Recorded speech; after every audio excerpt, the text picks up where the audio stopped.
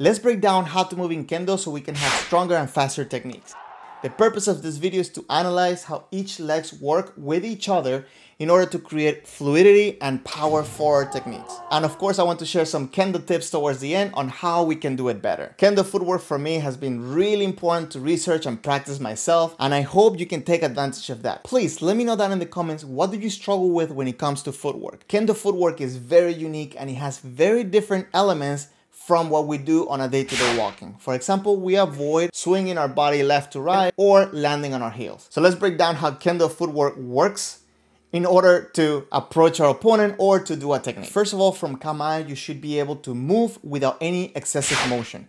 I'm not gonna go too much into depth with this because I already made a video on how to set up your feet for kamae, so you can go ahead and watch that. I just wanna make sure that you understand that you should be able to immediately move as soon as you just lift your foot on the direction you're going. And for me, the footwork done in kendo for stepping and attacking, the mechanics are the same, just the intensity and the timing of things will change. But overall, I believe that the fundamentals are the same. The back leg pushes and the front leg pulls. So I like to break kendo footwork on three stages. The first one is where the fumikiri would happen and is starting the motion. We start the movement by pushing with your back leg and releasing the front leg. The most important part here is that you want to continue that push with the back leg all the way until the foot leaves the ground. I say this because it's very common to see people put all the way on the front leg, landing on that leg, and then it's harder for you to keep that momentum going and you're forced to push yourself up from the front leg.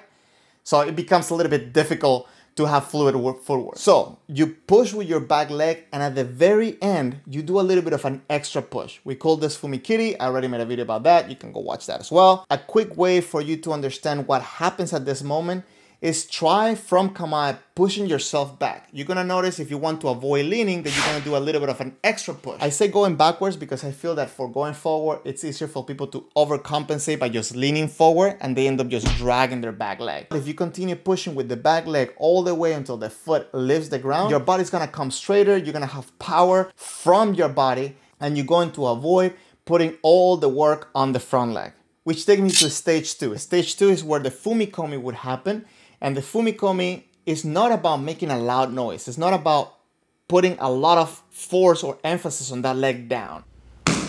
It's to pull you forward. So if you have good support from your back leg, your height should remain the same and your front leg, all it's going to do is just pull you forward to keep the momentum going. Don't worry about making a loud sound when you're doing fumikomi, just worry about keeping that momentum going. I will make another video about how this footwork and techniques relate to each other so we can explore that further there. But in the meantime, just understand that Fumikomi is not about hitting down on the ground, but instead it's about pulling you forward. Even though I say stage one and stage two, they happen one after the other, sometimes they overlap. So especially when you're doing a long step, your right foot is gonna touch the ground before your left foot leaves the ground. So you want to make sure that you keep pushing all the way to the end and you do that fumikiri, that little extra push. Because that's going to help you on stage three, which is to bring your foot forward, hikitsuke. And there's a couple of things you can do to make it easier for yourself. First, if you did stage one correctly, where you push all the way to the end, that foot is going to be lighter, so it's gonna be easier to bring it forward, it's gonna come with momentum. But in my mind, the way I like to do it is I like to think about re-engaging my back foot as quick as possible. You see this happening when people do kote men. From kote to men, you see that the foot comes quicker if they're trying to do it quicker and trying to keep their body straight. So in my head, what I like to do is I like to think that I'm going to step again by making sure that my back leg is there to keep pushing me forward. Unfortunately for this, you have to practice it. You have to do it over and over. But I think that if you keep in mind that you have to re-engage that foot like you're going to do another technique, it will help you bring that foot faster, continue the momentum, and make sure that you have the power you're gonna need if you need to do another technique. I know it's easier said than done, but I'm going to say if you make sure that you keep in mind one of these things at a time and you work on them, you're gonna be able to build up your footwork stronger and faster to have support behind your technique. The main reason why people overcompensate by hitting harder with the hands is because they don't have enough support from their feet. Take some time to work on your footwork if you want stronger and faster kendo. Now, because everybody always wants to be faster, let me share with you a little bit of insight on how to do faster footwork. Or at the very least, to make your opponent think that you're faster than you are. If you can on your own, practice starting moving slowly and ending sharp and fast.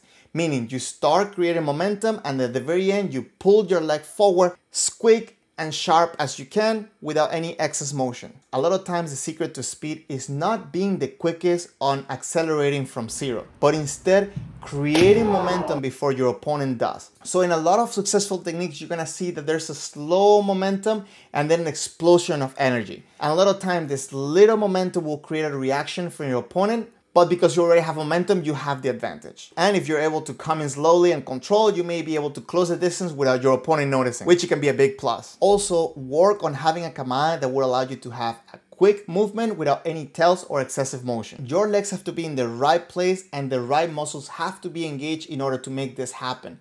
So if you'd like to explore this a little bit further, you might want to check out this video I made on how to set up your legs for kamae. Let me know down in the comments, what do you struggle the most when it comes to footwork. If you think I forgot something, please let me know down in the comments below. And if you would like to keep getting Kendo tips your way or be part of one of my live streams, make sure you're subscribed to the channel. Please hit the like button and share this with someone you want their Kendo to improve. Thank you very much for watching.